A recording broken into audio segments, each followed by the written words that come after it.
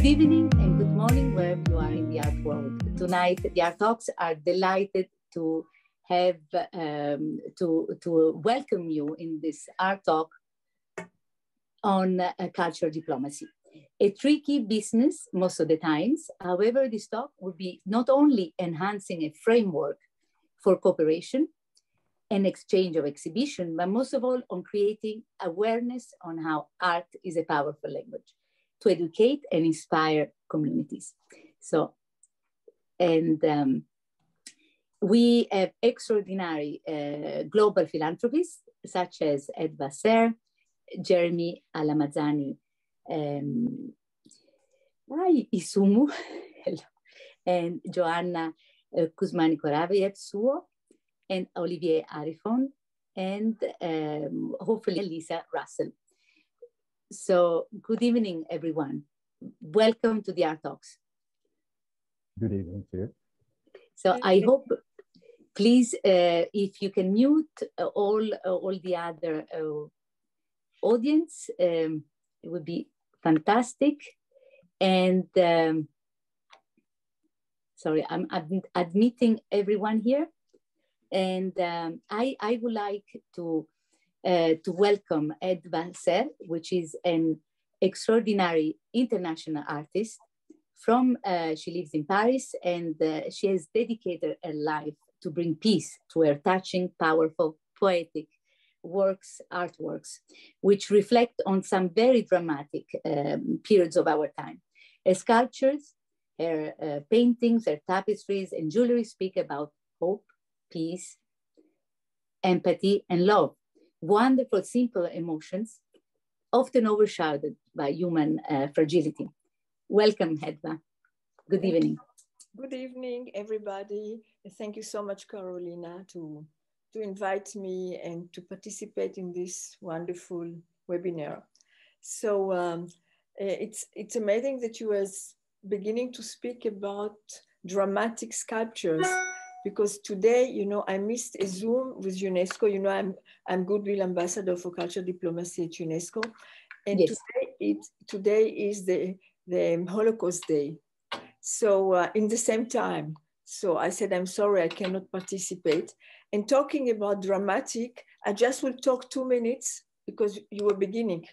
Of course. And, and, you can see behind me because I didn't I didn't meant to speak about it, but I created uh, I created a garden in Krakow, which uh, is telling the story of tragedy, of, uh, uh of, of the Holocaust, and also um, the uh, four sculptures, they, they're beginning with tearing, explosion, rupture with hope, and the last one is uh, hope.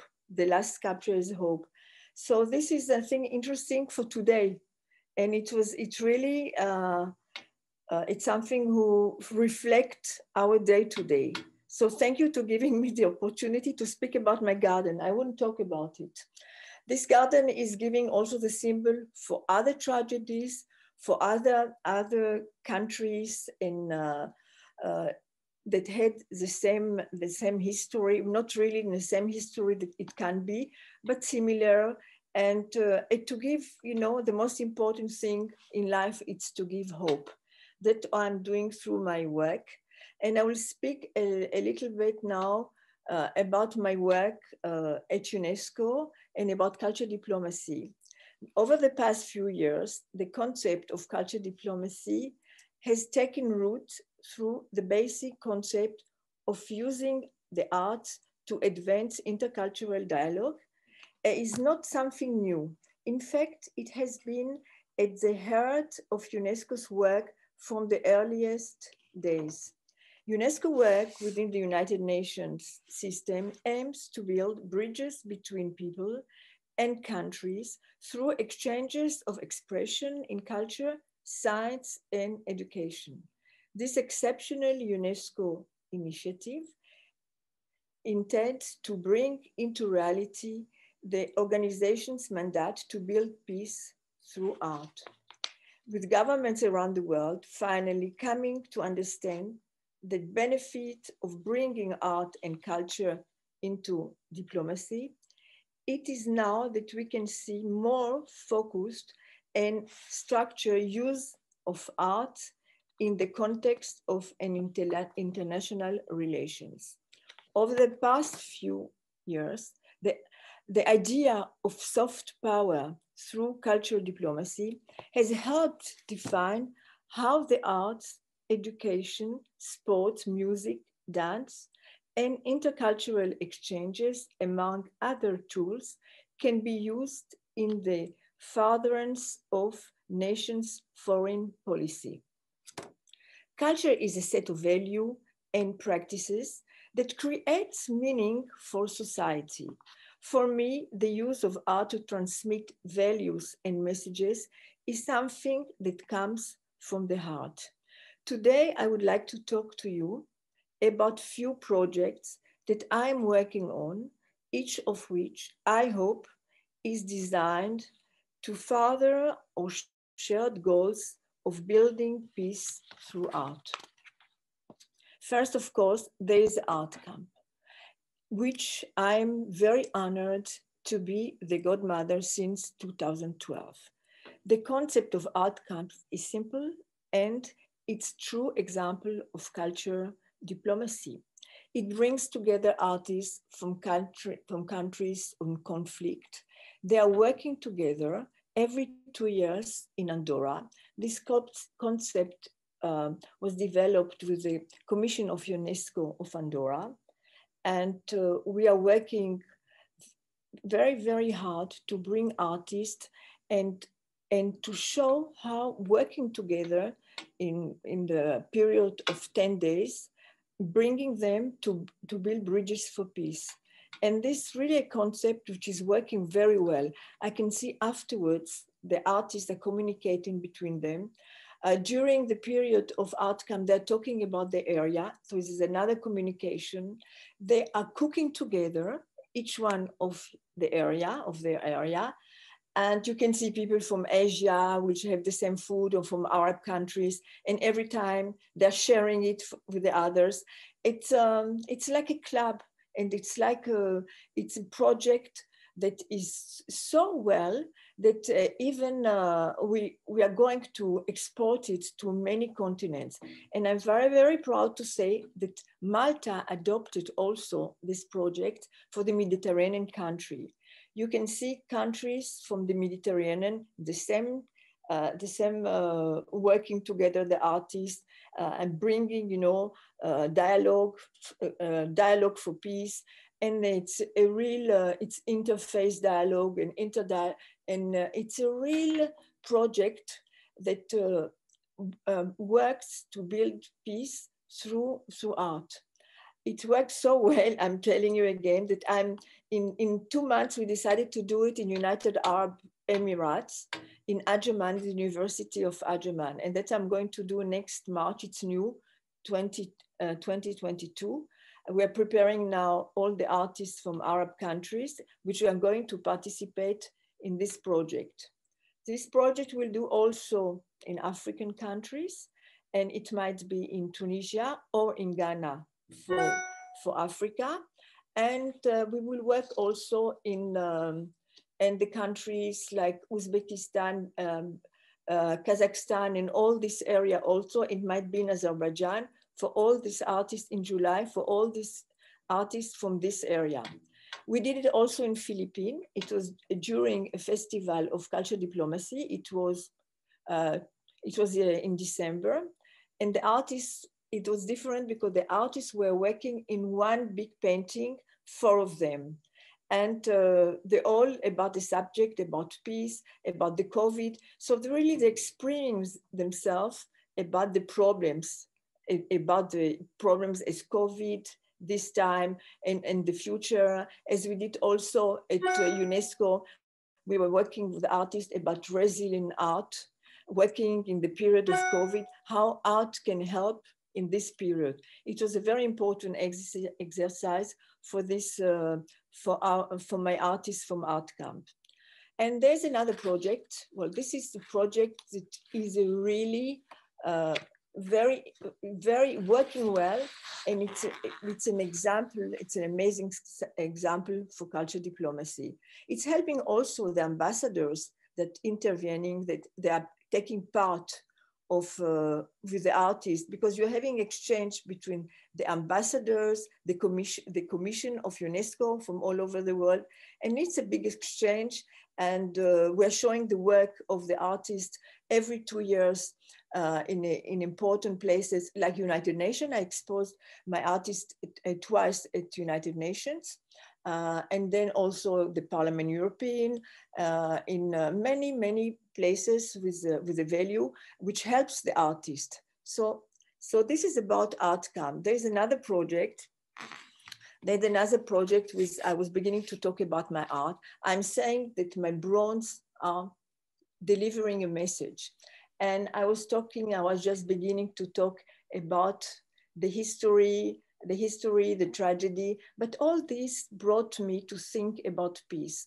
And it's a years that I'm working about a sculpture, uh, which the name is the Tree of Peace. Tree, the Tree of Peace, it's a sculpture that uh, is a real dialogue for, it's a real dialogue. Why? Because the branches of the sculptures uh, that are representing three religions.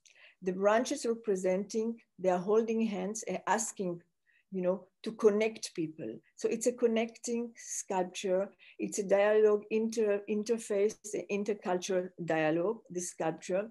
And this sculpture also, it's uh, taking care, you know, about, about the nature, about the biodiversity, and telling the people, well, you have to be careful uh, nature is something which is important, the deforestation, all the problems that we have today.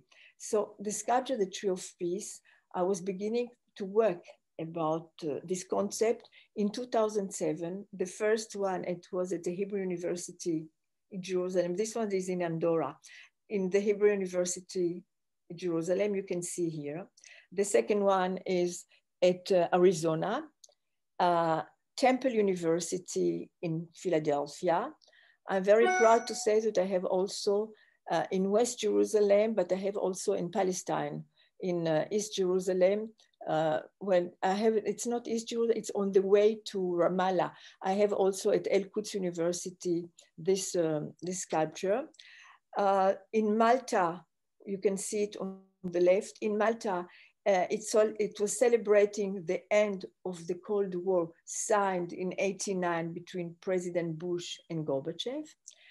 Uh, at the University of Harvard, uh, at uh, Berlin Down, Berlin, it's for the 50 years of um, diplomatic relations between Israel and Germany. It's a real reconciliation. And in the middle, you can see the first one in Baku during uh, it's a big one during uh, the, um, uh, the, conference of intercultural dialogue. They are doing it every two years. Then in Andorra, then, then in in uh, Tel Aviv in Kfar Maccabiah, which is international place for, for international um, chapter for uh, sports. Then in, uh, you have one in Strasbourg, and downstairs, I hope the lady from Greece will be there. She can hear, can join us, because this is something which is really very, very important for me. Uh, it was inaugurated three years ago, a big sculpture just in front of the Museum of War. And this sculpture, the Tree of Peace, was inaugurated by um, the President of Republic. And then we decided since then, uh, with my colleague, uh, Madame Vardinoyannis, which is um, a goodwill ambassador as well, to, to build and to create the road to peace all over the world. What does it mean? It means that all the countries that are going to have the tree of peace, that are having and are going to have the tree of peace, they are going all connected for the same language and for the same desire for peace.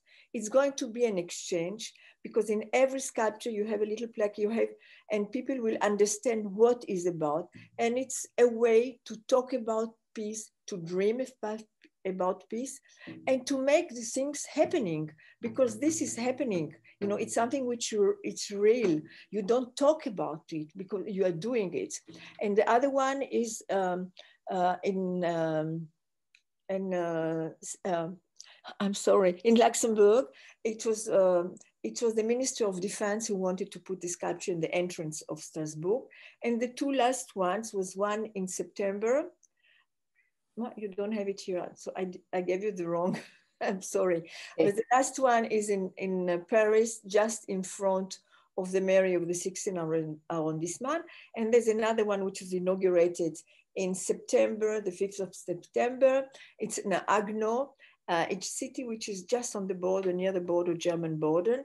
And it was for the 10 years of uh, celebrating 10 years of the exchange of uh, interfaith dialogue and 200 years of the synagogue. So the, the, uh, this, uh, uh, this tree of peace, I think, and the road of peace that I'm working now with UNESCO, it's something which for me, it's very important because it's not only a bronze tree, a bronze, but it's made by a tree made by bronze, but it is something which has a meaning, which is connecting, which is speaking about peace and celebrating peace. So I hope we will continue on and we'll do more of them to be more connected to peace and to all, all together to work for peace. And this is a really, uh, this way, it's a language for culture diplomacy. Because between my work with my artist, between my sculptures, that meaning culture diplomacy, and also uh, with some other project that I'm, I'm the godmother of um, uh, an association of UNESCO of, um, of children that um, uh, it's a, a, a, children, the name is Odyssey, and that working about the patrimoine and the patrimoine, the celebrating the heritage of uh, uh, the heritage of uh, 200 schools all over the world and the children are exchanging between them talking about the heritage. The children are also learning about through the tree of peace about peace so it's something which is also for education my tree of peace and we have many projects of exchange so all these three projects that i'm working uh, the, the bronzes, the, the bronze, the sculptures, the art camp, my project, and also Odyssey project. This is a real language and a real exercise of culture diplomacy. Thank you. Thank you, Hedva. This is uh, beautiful. As I, as I always say, your, your message is uh, simple, but yet so powerful. So true art is uh, really um, a language of peace. Thank you. So, but now I'm I'm going to Jeremy, um, Jeremy Alamazani Isomu. Good evening. How are you? Extremely well. What about you? Very well, thank you. I I would like to introduce you, Jeremy, before saying who you are, uh, through one of your favorite sentences, if I may say so, uh, that I, I adore. This life is not a rehearsal it's about economics ahead of color. Fear is not the strategy. Welcome, Jeremy. Thank you. Is, as I said, you know, I, I, I found it beautiful because also you, you said that your five keywords are faith, family, business, community, and legacy. And through your wonderful project that we will uh, hear and listen in a couple of minutes, I, I was introduced by Francois uh, to you, and I, I thought you would be an amazing speaker in this art talk. So, welcome. Thank you for having me. Uh, Jeremy, you are uh, so you're CEO of Square Rock Group and uh, principal at Wealth Partners, a development-focused vehicle for uh, African projects and investments. But most of all, you're doing an amazing project for the African heritage. Could you tell us a bit more about the um, part, or would you like us to, to, to put the video on now? I, I think it will be good uh, to to put the video. It's short, it's less than one minute 30, and yes. the place. Let's go for it first.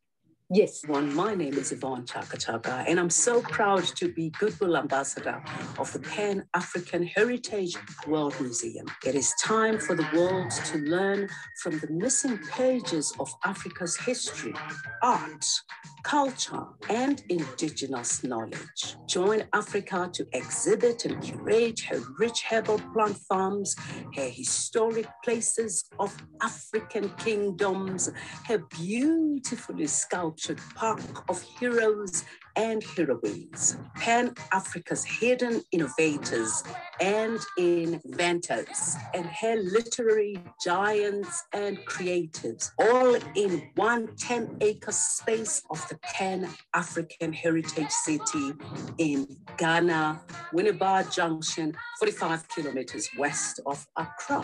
There will be hotels there, the chalets, apartments, and other social amenities. So all you do, you just register to be a partner, a lifetime member, or ordinary member. Visit our website on www.pahw.org. Let's together build a new humanity through walls of the Pan African Heritage World Museum.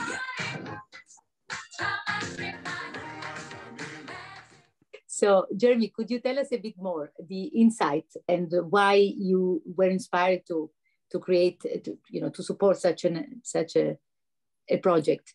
Yes, completely. Um, when it comes to money, to raise money, to define a, a strategy, to deliver, usually there are a lot of people who come to our to our businesses because we know how to do it. And I'm French, but uh, from African origin, from the Democratic Republic of Congo. And I just think that it has been for too long time, uh, for too long time, Africa has let other people to make the narrative about its own history, about its own past, and about what could be expected to be its own future. So when I was contacted by uh, the Ghanaian responsible and authorities, and also had a conversation with Kojo Yankah, which is the chairman and the founder of that museum, and he explained what he wanted to do, which is basically to have on a sort of university campus mm-hmm. uh, on 10 acre field, he wanted to have a museum, the biggest of all African history, from pre-slave trade, which about 1500 with the Portuguese, until now, African hero, plants, contributions, scientists, doctor, and others. And obviously to have that happen, money was needed. It, it just hit my heart, A, based on the concept, uh, the timeline, because the virtual launch is going to be the 5th of May and the physical delivery has to be the 20, uh, in uh, February 2023. So all this excited the imagination, my imagination and one of my team to see how to make it happen how to bring partner. But the most important thing is that uh, as an African, I grew up with Western art, Western superhero, uh, the Batman, the Superman, or on the other way, could it be the Picasso, the Van Gogh, the Dali? These were my point of reference. When I wanted to see African art and to understand what it was, I had to go to Western Museum in Belgium, in Tervuren, or in the Louvre whatsoever. And I was saying, hang on, all those countries are developing themselves with our own history and our own, own patrimony. When are we going to have ownership of our contribution to the humanity? And when are we going to have those people traveling in the African land to see a place which is going to be a testimony of who we are, what we stand for, how we have contributed to the planet, and how we can make a difference. Because if you look at history, Africa has been the cradle of humanity. And if you look at the modern time, Africa will be the future of humanity, A, because we, when you start to talk about nature, carbon emission, the forest is there.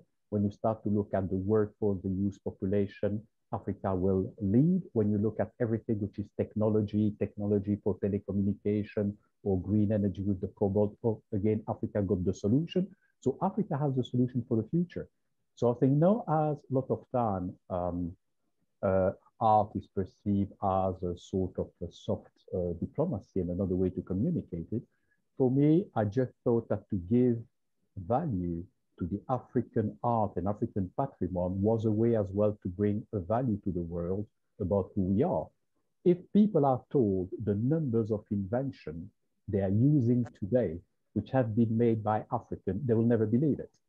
Why? Because we have left again other people telling our own story. And this is why uh, for us to bring that museum, that campus of African history alive, it's extremely, it's extremely important. And what I've always been fascinated is by, it's everything which is non-verbal communication, which brings people together. Uh, I remember when I was uh, young, I was sitting uh, at a football game uh, with a young chap who was not speaking French, uh, but it happened that we were supporting the same team and we were having the same emotional reaction every time our team was on a verge to score or every time our team was closer uh, to have a goal against them. And therefore, I started to think everything which brings people together could it be art? Could it be sport? Could it be food? Could it be music? Must be nurtured. Uh, Hedva showed a wonderful piece before. I think wherever people are, they don't know her name, they don't know her nationality, they react to it because it speak, it communicated to them. And uh, for my team and myself, to make sure that we raise the few millions to make this museum happen uh, is extremely important. But what is extremely important for us is really to state again the place Africa and African art, art has had in the history of the world we live. And the last thing I want to say, because I think it's pretty important for all my colleagues to have their fair share of time as well, is we live in a modern world where a lot of things are, are branded. What I mean by that, you have things which has been existing for centuries, but in the modern marketing world, they put a name of it and they try to make you believe that has been created now or 10 or 15 years ago. But when you're talking about soft power or cultural diplomacy, if you go to see the Queen of Sheba, who went to visit uh, the King Solomon, uh, based on the Bible with all her gifts, all her presents, in order to start a discussion in a good way and to connect with him in a good way, it was already cultural diplomacy a couple of thousand of thousand of centuries ago. So I do think certain time we tend to, to hide a certain numbers of terms of things which has been existing for quite a long time. And the only thing I can say to people is try to travel. Try to travel to the Pan-African Heritage World Museum. Try to spend a time there and try to assess the contribution Africa and African art and African historians have had on the world. And obviously, people are going to have my detail, the detail of the company. Feel free to ask questions because we are more reactive when you ask questions than when I speak. So this is what I have to say, and thank you for giving me this time to say it. Jeremy, thank you. Can thank I say you. something? I'm sorry. Yes, of course. I'm sorry, because I didn't know that our friend is going to talk about the Pan-African Museum, but I just want to, to clear something. I'm, I'm on the honorary, uh, I'm on the committee of Pan-African Museum for Heritage in Ghana. Is it the same museum? Uh, you're working with uh, my friend Kojo Yankah. With right? Kojo Yana, yes, with him. yeah, obviously, yes. It's the same with them. I'm supporting you, and wow. my team and myself are working to bring in the money for this to exist. Oh, no happy to meet you. I, you, this isn't a coincidence. I was shocked. I asked my friend in uh, that uh, a friend. I, I called now when you were talking. Is it the same museum? Is it not another museum? I was shocked. It's, it's called Yankah Pan African. So I'm I'm on the board. Just to tell you. Edward, this is not a coincidence. It's the art talks. Yeah, bravo, bravo for you gathering the people that il faut. Huh? That's really unbelievable. And I'm helping them with UNESCO because you know at UNESCO it's priority Africa, and we're doing many things for Africa. And they and and I will help for the museum, you know, in uh, to give more audience audience at UNESCO. We will talk. We'll talk. Lovely. We'll exchange a telephone and we'll talk. Fantastic you're already on the chat, uh, Hedva, but uh, as, yes, I think you know we all be we will be there in Ghana. I think we are inviting ourselves, uh, Jeremy and Hedva. so, but I, I just want to conclude, uh, Jeremy. Thank you, thank you so much because I think also the the statement of uh, the African Heritage Museum is is what we all want to hear: a new humanity, racial justice, freedom for all, and respect for each other, which is something so simple, but it seems the world always seems to forget. so thank you, Jeremy.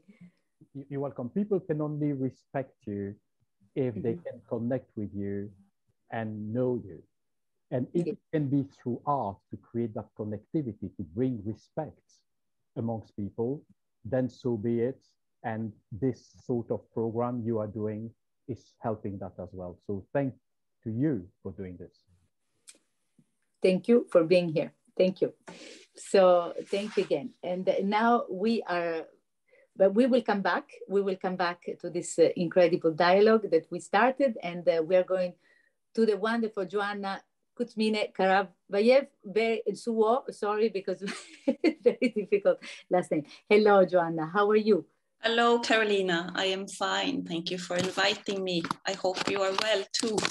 So happy to have you, Johanna, because um, as, I, as I said, I met you to the G100 uh, leader from Bina, uh, Uni Krishnan, and um, and I was fascinated with all the work and the, the, the, the wonderful knowledge that you have about cultural strategy. So when I thought about the culture uh, this talk, I thought of you straight away. And I would love to hear all your amazing, because you have been in this uh, more than 20 years, you've been uh, studying and, and working for uh, cultural public affairs. Could you tell us a bit more, Johanna?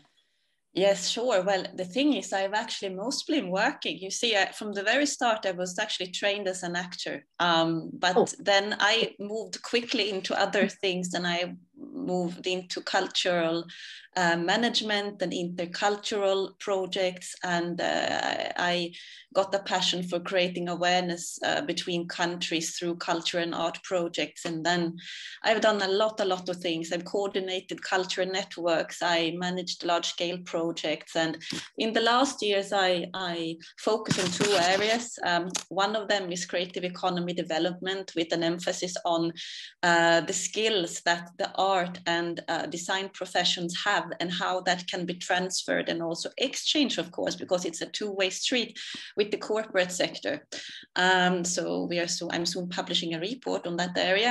And then, uh, well, I'm, I'm passionate about culture in the context of international relations and um, how it can benefit uh, the largest um, audience. So I actually very um, late in life wrote a master thesis about that a couple of years ago.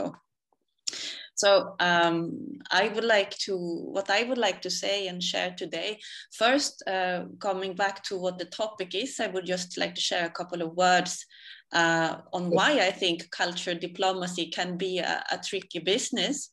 Um, and then I would like to just um, share with you a project that I worked on with the Ministry of Foreign Affairs in Colombia uh, a, a, while ago. So um, sorry, Carolina, did you have something else to say before I start, or maybe no, no, you wanted to? No, I'm, I'm waiting for you.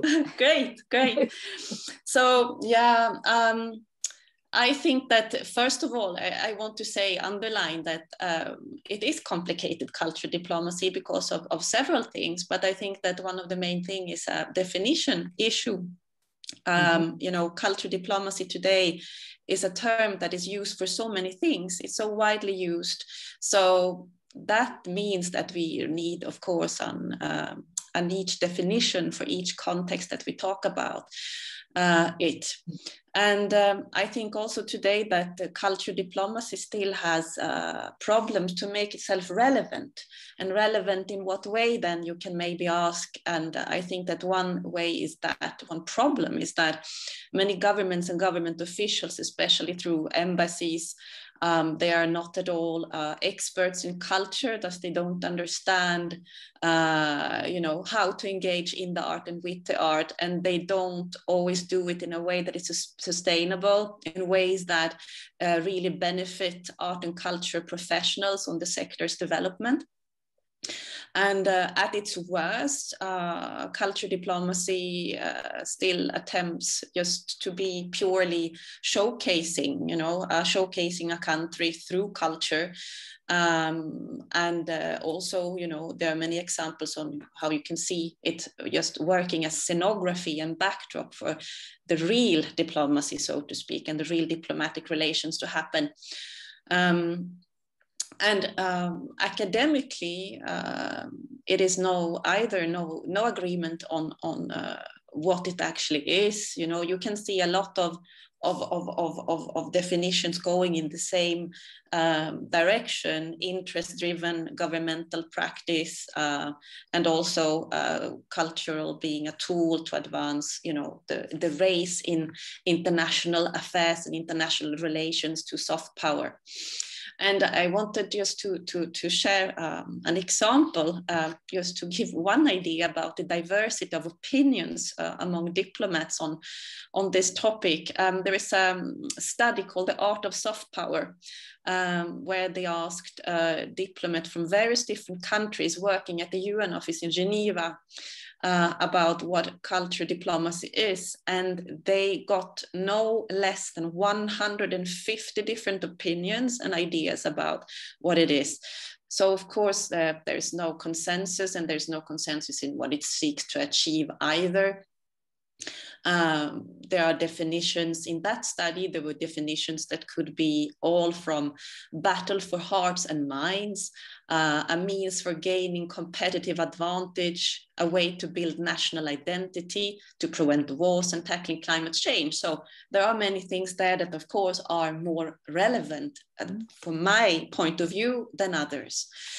Um, when I did my research a couple of years ago, I spoke to a diplomat from, uh, it was from Flanders here in Belgium.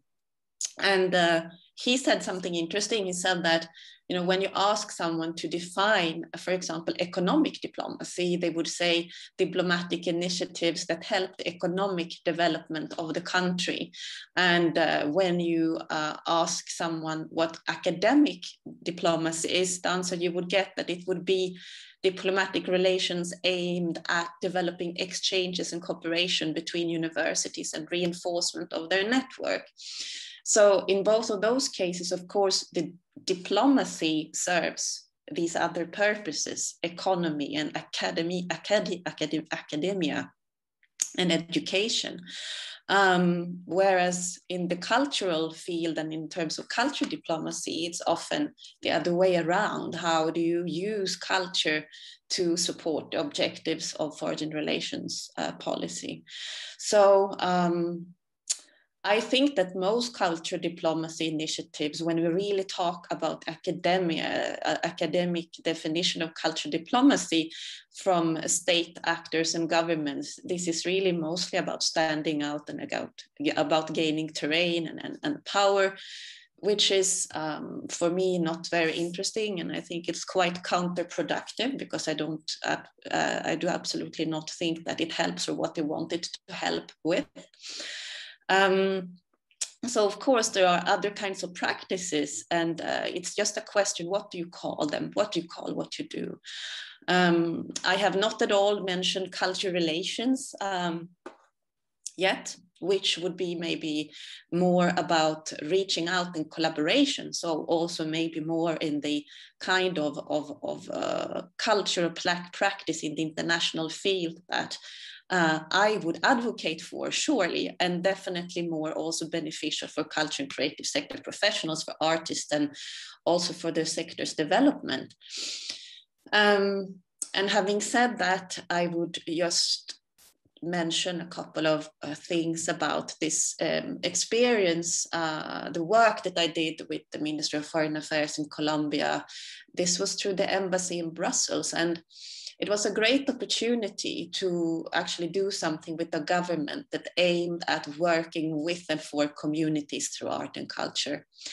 Um, this project became bilateral uh, as had uh, involvement both from Belgian and uh, Colombian public authorities and governments. So we started that project then um, in a way that um, uh, we wanted to see what, what was actually important in terms of pressing, pressing issues for these two countries, and especially for these two cities, Brussels and Bogota, where we judged that we were able to implement uh, what we were going to do. So then we also looked at artistic uh, disciplines, what could be relevant and interesting to work with in these contexts and in these two uh, places and countries. And uh, we defined, uh, we had also, of course, we had also already said that we wanted to work with young people. Uh, because then it was easier as well to come to the conclusion which we, which we came to that illustration and comics and, and comic strips were the we found that that would be the best option finally for an artistic disciplines so uh, that's what we did and then we talked about the the topics so as you may know have heard Molenbeek, so Molenbeek in, in Brussels and um, Ciudad Bolivar in, in Bogota, Colombia. These are two neighborhoods um, with both similarities and differences. And these uh, inhabitants, they struggle with uh, different stigma. So we concluded that we work on stigmatization. Um, Ciudad Bolivar, just to say a couple of words about these neighborhoods, is a high, really high risk area for recruitment to armed groups. Um, it has a lot of problems with drug trafficking, the crime statistics are really high in comparison to other neighborhoods in and around Bogota. And uh, the perception of safety is really among the worst uh, in its uh, one of Bogota's poorest neighborhoods. And um, as you uh, may recall, um, Molenbeek has faced challenges uh, after the terror attacks in Brussels and Paris uh, some years ago, when it was when they did the cure that the um, these attacks had links back to this neighborhood. So um, we worked with these youth groups sharing these similar issues with stigma and we tried to offer them a context of opportunity and uh, or collaboration to reflect on these stigmas and, and exchange about it so i just wanted now to share you a couple of images to explain a bit more about that Let's see if this works. Do you see my screen? Can, yeah, you can see the PowerPoint? Yes, yes. Yeah, perfect. Um, so yeah, so that's a front page of the magazine. So this this magazine uh, work was named uh, Cara o Sello Pile ou Face, which is like flip the coin. It was named by one of the, uh, there were young, uh, young, older children, young teenagers who participated. Um, and uh, it's a scene from when the illustrators were working um, with us um, in Bogota uh, yeah in the beginning of the project so these we were thinking we were asking a lot of questions like how could these young groups uh, relate to one another? Um, how could, uh, you know, were they facing stigmatization in the same way? Um, could there be universally identified uh, problems and would they have also universal solutions that to be created together? Could there be a joint narrative created by the groups? Um, how did they see themselves actually and their place in the world? So they worked with the illustrators and in a series of workshops. And of course, it was project-based work, which of course, in the context of culture diplomacy in the embassies was very different to something that they were, uh, you know, to what they were used to normally. Um, so I will show you here the next image. Um, so we here they were asked this uh, question as you see there how do i think people see my neighborhood in molenbeek? This is just an example from the magazine. So as you can see there is a lot of violence uh, violence and um, a lot of or maybe cliches. Um, the next image here um, is about how do i think that my neighborhood is like. What do I believe it's like in my neighborhood? Which is, of course, quite uh, different, quite peaceful, really, um, and joyful with a lot of color. Um, this last image here that I wanted to show you is the first image is drawn by a uh, young participant in Molenbeek about how he imagined it is in uh, Ciudad Bolivar in Colombia, and the second image, vice versa, how one participant from Ciudad Bolivar thinks it's in Molenbeek. And the interesting thing was that they knew very, very little about each other's um, uh, neighborhoods. The only thing that came out was that that the uh, first uh, image, uh, the, the, per, the, the young uh, boy who drew this first image, he had seen Narcos on, on, on, uh, on the internet. So he had seen about drug trafficking and arms and, and violence. And this other boy actually who draw this other image, now there's not an arm or a gun on that one, but the only thing he had actually happened to see about uh, Brussels that was Brussels was that um, episode, there were excerpts about the terror attacks. So he got inspired um, by that. So um, I just wanted to share those because I think that images makes things uh, very clear, and I think it's it's you know images are very strong to to show something. So um, the, the, the work that we did in this project, I think, you know, it's always, it was by far from ideal and there's so much more that we would like to have done. But what it did, it was that it produced um, a base of opportunity for raising awareness among these young persons on how they're actually impacted by public discourse and stigmatization when they are creating their own identities and personalities. So it opened opportunity for them as well to present this, um, these stories to the public. And uh, the material uh, is now used uh, mostly in Colombia, but in both cases to, to raise awareness on the topic among uh, there uh, in the community. So in this project, culture diplomacy, of course, went far behind the, the elite level of, an, uh, of level environments um, that you can often see it happening and uh, really working with people and trying to to to to to establish some kind of, of change and uh, forward something in the society so the next actually step that we uh, concluded would be logic was to do it on a very much larger scale and leverage this experience for a larger uh, audience. So it could be, for example, an online international toolkit for helping youth to deal with and engage around stigma. Um, and so to finalize, um, I maybe just wanted to say that, of course, this is not the only way to do culture diplomacy. There is no right or wrong way to do culture diplomacy. There are only very different countries and uh, realities and different socio-economic contexts. Um, but I surely believe that there are more and less relevant ways of doing it. And uh, one relevant way is, of course, always to um, uh, work with artists and professionals and you know to always respect their work and that they should always be paid correctly for what they're doing. Um, and I also think that you know it's possible to take into account the interest of all kinds of stakeholders, culture and art professionals, uh, the sector's development, civil society, and also government agenda.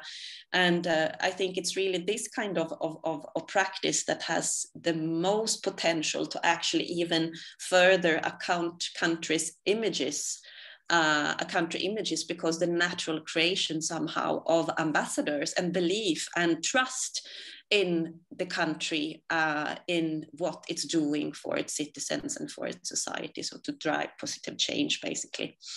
So yeah that was what i had to tell you today. Thank you johanna. I think is uh, it is absolutely right. There is no right or wrong in in cultural diplomacy but you you show us also a different way how how you know to connect to to the people that and to the children which are our future. And uh, this is beautiful. Thank you. Thank you johanna. So i i will uh, pass it now to to uh, professor arifon olivier arifon. Hello? You have yes yes. Good evening. I'm here. Good evening. And um, uh, so uh, olivier arifon is a professor consultant and researcher and uh, in influence and public affairs, public diplomacy, soft power, and narration for cross-cultural communication. Good evening and welcome to the Art Talks. Okay, thank you.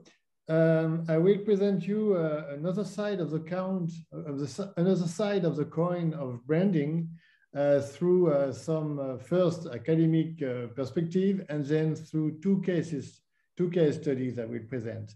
So I will share my screen now, and I hope I think it's it's okay. Yes, it is. We I put it full screen. That's okay. Okay, it's here. So uh, you have the full screen? Yes.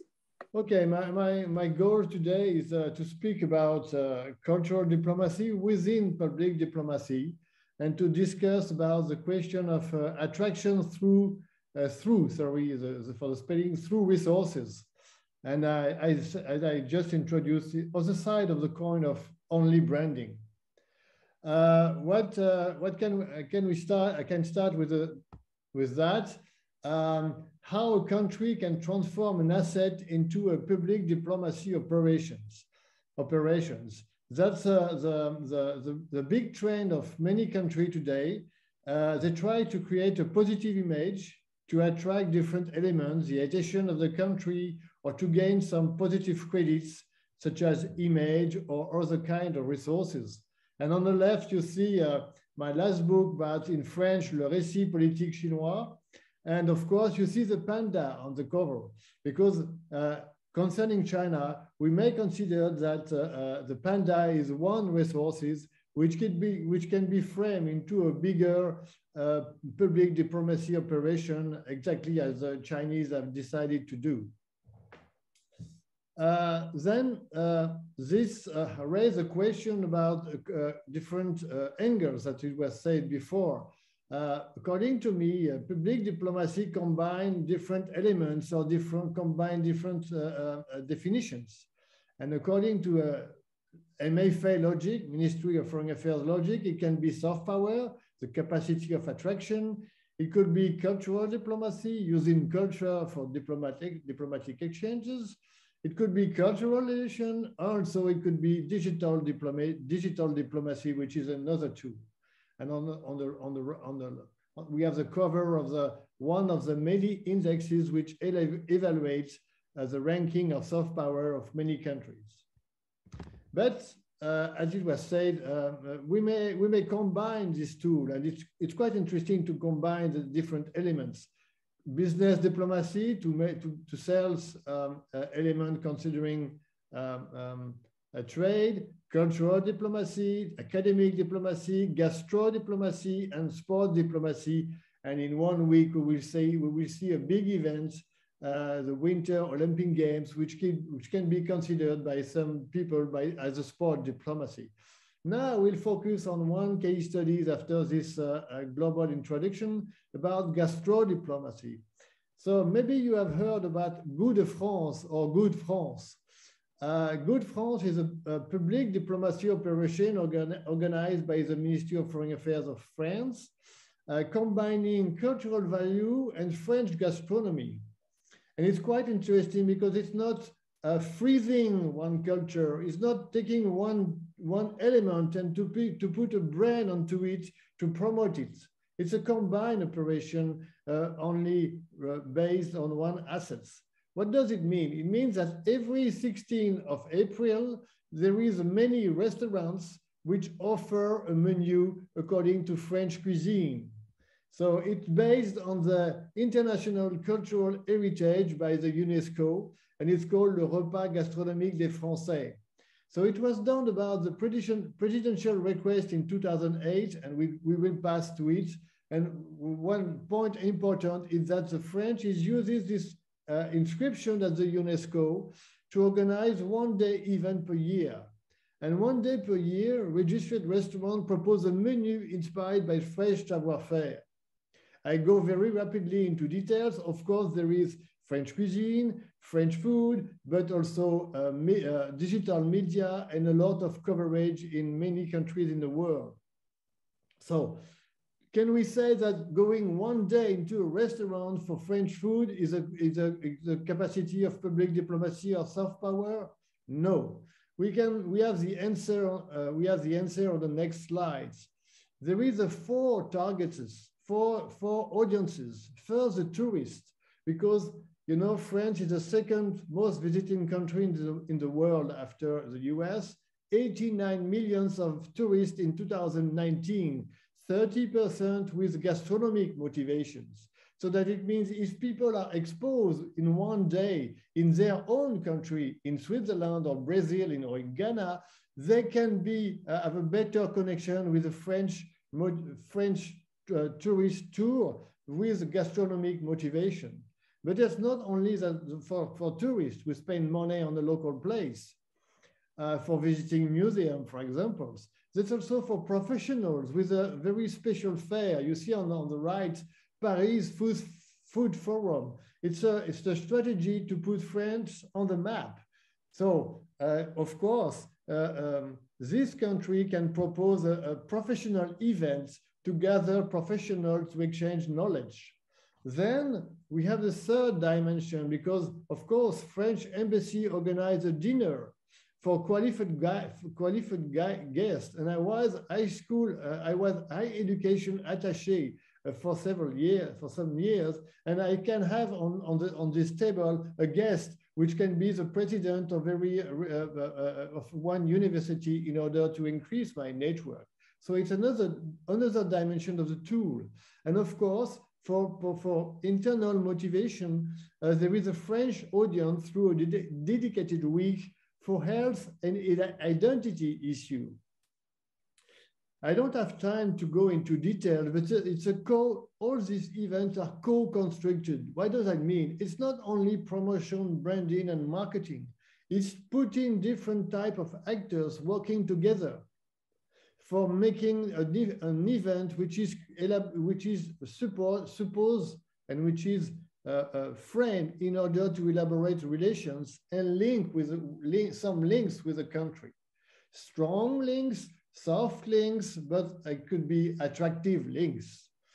I go, I go, yeah, I go a little bit on, in details, and then we've got even a local dimension.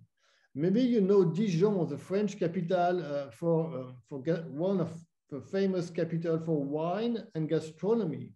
Eh uh, in, in Dijon, uh, there was two tours, which is the City International of Gastronomy and Wine, which, was, which will build over there.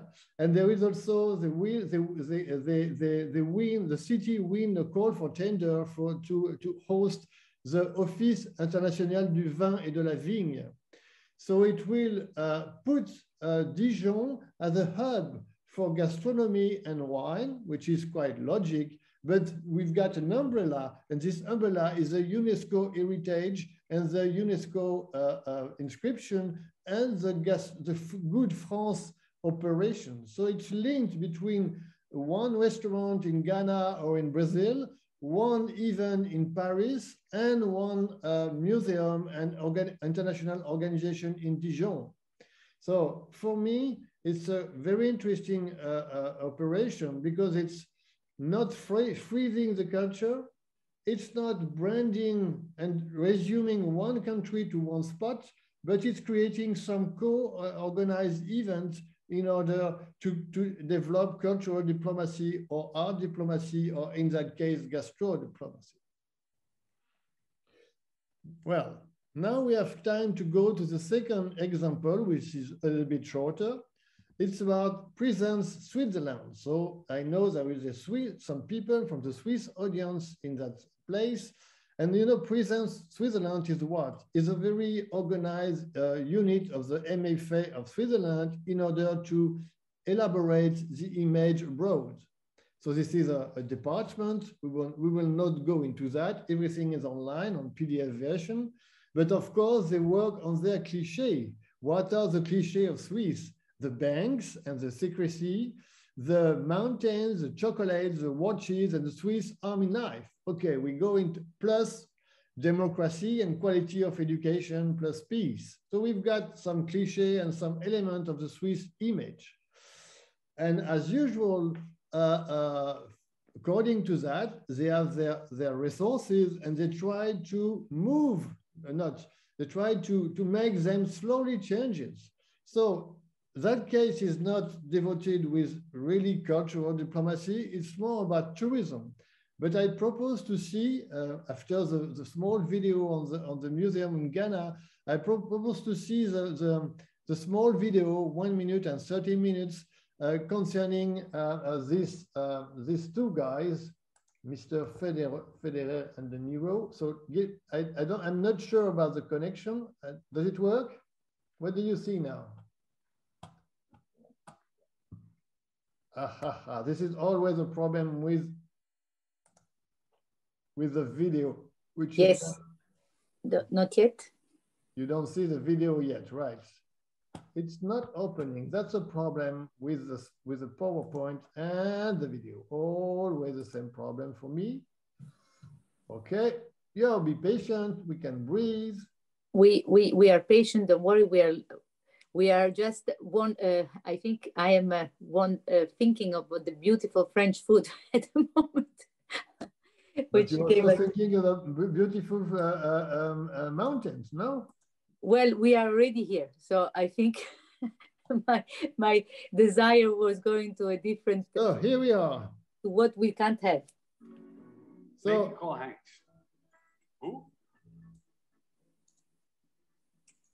Sorry, is that the end of the video? There's always the same problem with my computer. so we have time to, to see uh, the, the whole video. And uh, what I want to say, it's a working on cliche, but it's a very subtle work on cliche because that's, uh, I, I phrase it as a three styles, quality, money, and clarity of the message, which is very important. So let's look at this video.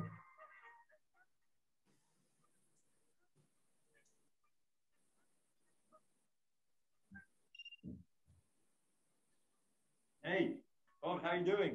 Hey, Roger, how are you? I'm just relaxing in the Swiss Alps. Take a look. Yeah, it's good, good, good for you.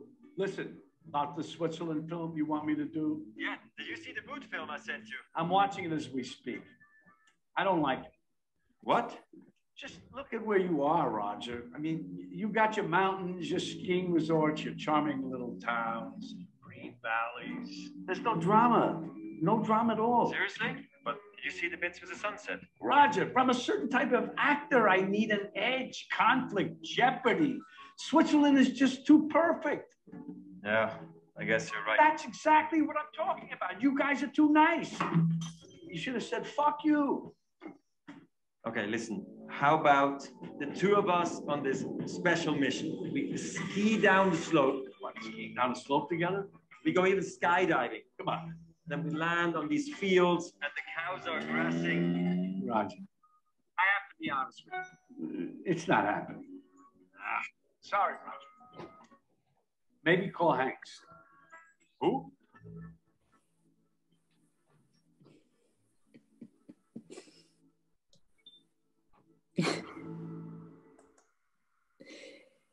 Voila. For me, it's a perfect work on what? Not on tourism, not on marketing, but on two elements. And I go back to my PowerPoint to do the conclusion. It's a perfect work to, to, to work on, on, uh, uh, uh, on cliches, on storytelling, and how to try to move uh, uh, a, little, a little bit more uh, the image of one country relying on that case on some, on some uh, resources and assets, as I mentioned in the introduction. And to finish on that, each country had different assets. Each country had different resources. Each country had different qualities. So that's a strategy of one MFA, of one tourist organization, of one cultural uh, uh, unit to, to use or to uh, organize this in order to uh, contribute to the image according to my, to my point of view, because I'm working on public diplomacy since 10 years. And I, I conclude with that.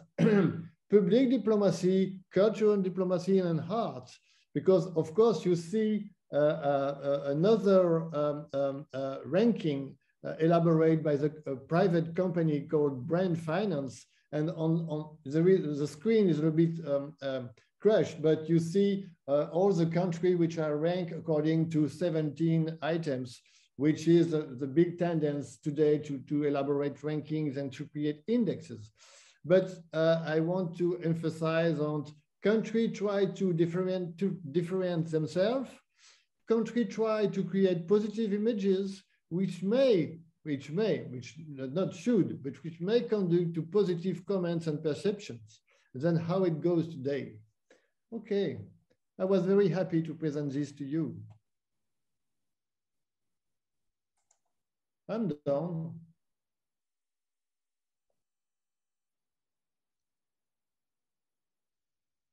Are you here? Hello? Yeah? I'm here. I'm down. Oh, we're still down. It's Carolina who is uh, muted right now. Oh, okay. That's the reason we're all waiting for her to come back in the game. But but I have uh, I, uh, my my presentation is over. So is because... the host is the host who is missing? What's the problem? So, I, I, as you had the PowerPoint problem today, it seems all the computers are going a bit uh, crazy. No, I'm here. I'm back. I, I don't see. Get, I don't see anyone on my screen. I, I, couldn't get in my in my Zoom. Sorry. No, you are still on your computer. I think. Is this Me? yours? Me, uh, I'm still on my computer, but I have finished my I, my my presentation is over. Yes, yes, and we I'm here. Can you see me? But you have to switch off. I think that's why you can't see any of us. So my presentation is over, and my conclusion, I, my conclusion is done. I we I have to say, Olivier, I I loved your your your you know your videos, and they made us think. You know the cliche and the, you know how the branding and this is all cultural diplomacy. I live in Switzerland, so I could see the uh, Robert De Niro fact that there is it is it is too perfect. And uh, but for other people it is absolutely a paradise. But um, I, I, love it. But we are still on your on your uh, powerpoint i think. Olivier you have to switch it off so we can see all the others and here, ah, yes, okay, okay, okay. I forgot this. I forgot this. I'm sorry. It, wasn't me. I'm sorry for that. I'm sorry for that. so I, I, I think it was, it was wonderful. So you know, this is also the art talks. Sometimes things happen, and I couldn't get in in my Zoom. okay. I always forget to to to to to, to stop. Don't worry, Olivier. But, but I, I, hope, think... I hope my my my my message and my content was uh, was clear. It was. I think it was. It was wonderful. I think it it made us uh, you know open our minds in a different uh, you know we are all set into the arts, but it is all connected. And I think we come back to what Jeremie said.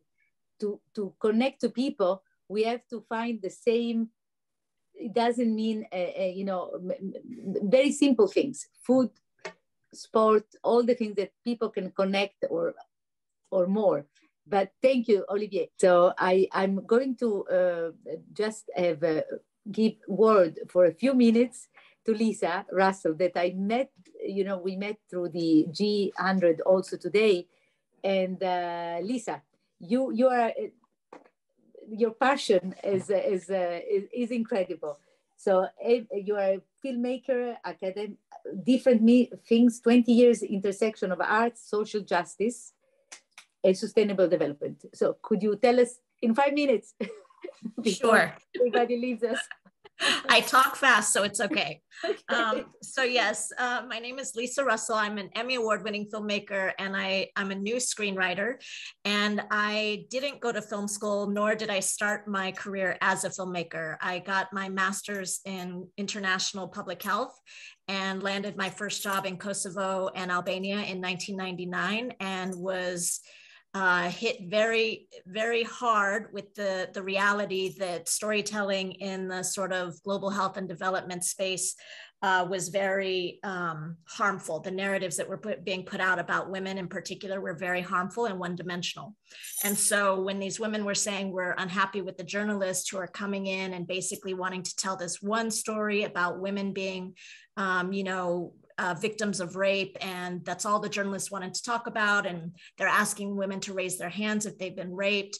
It just really kind of shook me to my core of wow when I look at the work of the UN and NGO community, we do tell one dimensional stories that are very, very harmful. So I got interested in storytelling and I shifted my whole career path to becoming a filmmaker. But because I have a dance background and I work with poets and a lot of folks, I um, integrated different performing artists into my film work. So I jumped on a bus tour with Zap Mama, for example, and went around screening my films and then had um, had a musical performance to accompany it. So there's one thing I want to um, I want to say about cultural diplomacy. And then I, if I do have time, I just want to show a short video just to, to kind of give a visual to it. But um, my role, I think, in the cultural diplomacy atmosphere is really in being an advocate for artist-led spaces and artist-friendly spaces um, in the policy arena, especially as it retain as it pertains to sustainable development. So let me just give you sort of my quick, quick like example.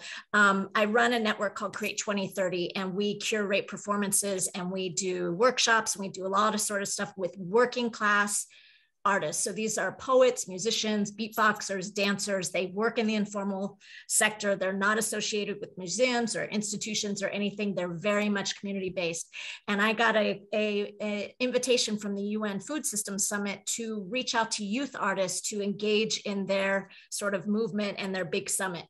When I attended two of the conferences, I thought, if I try to introduce youth artists to this, I will lose them completely. It was too academic, it was too UNE, which is important. It was very policy oriented, it needed to be. But my feeling is if we create artist friendly spaces, where do artists like to go? They like to go to studios, they like to go to festivals.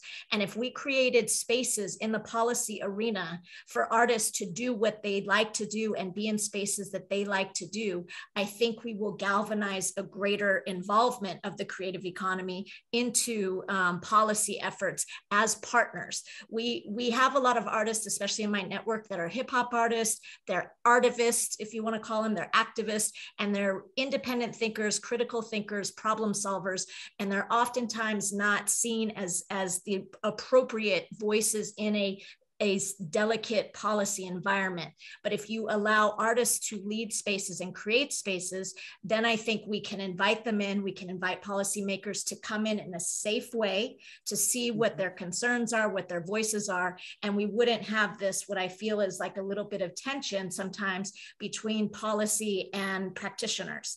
Um, and so I just want to s- just kind of put that thought out there. And then I'm going to show just a very, very short video, um, if it's okay. And then um, yeah, I can, we can have a longer talk maybe um, at a different time. So let me just which, share which, screen. which we will already, we're going to have on of Yes. March, invite you everybody for Women 8th of March, Women's Day, Okay. artists from all over the world. So- Where is it? Okay. So this is a short video. Can you see my screen? Mm-hmm. Yes. Okay. So it's very short.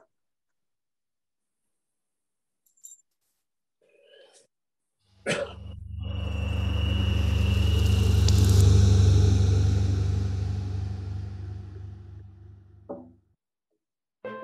is said that the role of the artist is to make revolution irresistible. With the stroke of a brush, a new landscape is seen. A sculpture can reimagine our environment. A photograph can be a tool for justice. Songs can help communities build resilience. Films can challenge harmful narratives to build empathy. It's true that artists can move hearts and minds, but we can do so much more. We are one of the world's fastest growing economies. We are incredible creative thinkers and problem solvers. We build new paradigms for cities and drive tourism as cultural workers. We are important communicators during crises and help connect the disconnected. Our livelihoods are independent of a formal work culture. We can be of any age, any ethnicity, and work anywhere in the world. We are not charity, but a growing, thriving economy. Our sector generates more than 29.5 million jobs and $2,250 billion in US revenue. Our world is in need of a creative revolution, and yet our livelihoods are at stake. You can help change this trajectory. Create artist friendly policies. Support the health and well being of working class creatives. Give artists a seat at the decision making tables. Solicit our creative thinking and problem solving skills. And engage us in creating a sustainable world by 2030. My name is Lisa Russell, and I'm a filmmaker and a curator. As founder of Create 2030, I advocate for responsible engagement of professional artists in the sustainability sector. Let us create a better world together.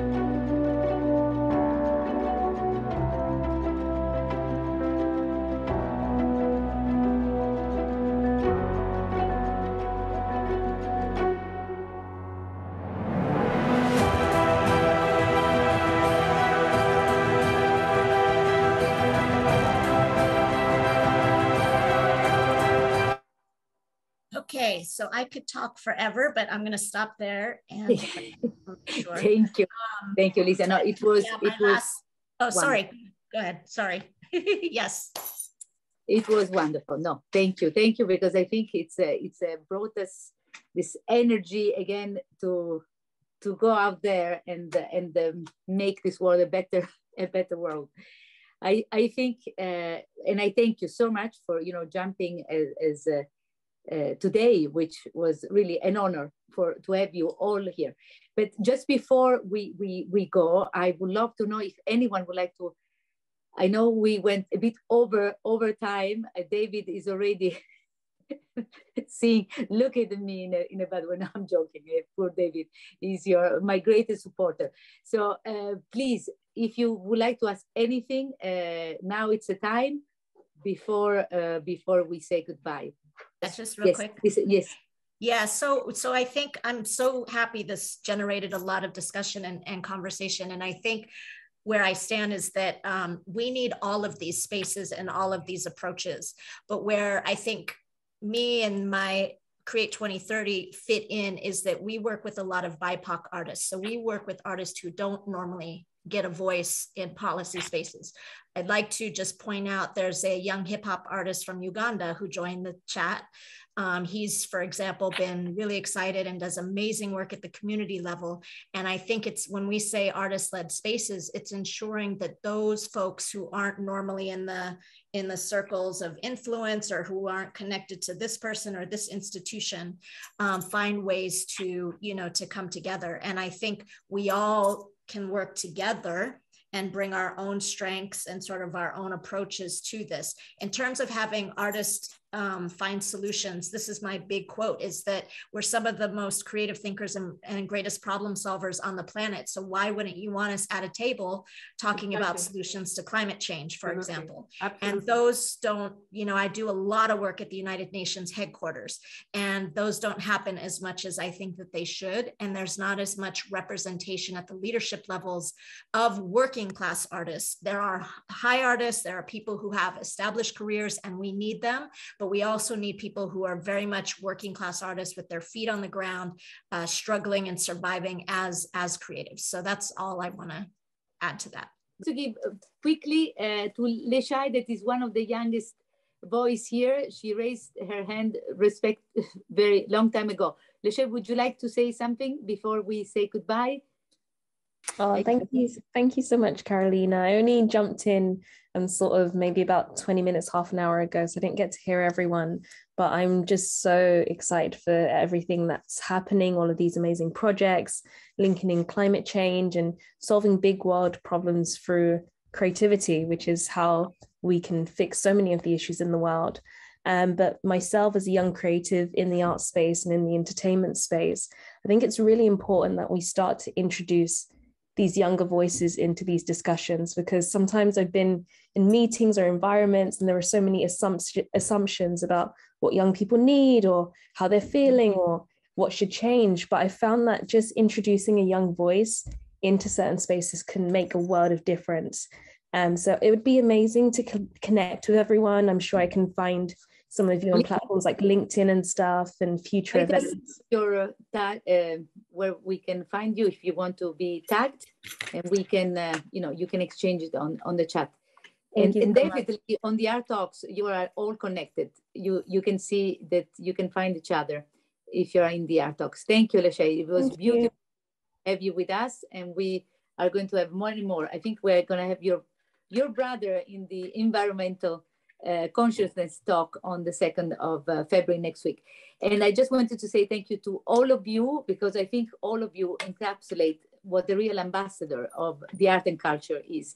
And again, thank you for your patience, for being here, uh, Jeremie and Olivier and uh, Hedva, David, Lisa, whoever, Elizabeth and Russ, Bernard, who I just met today.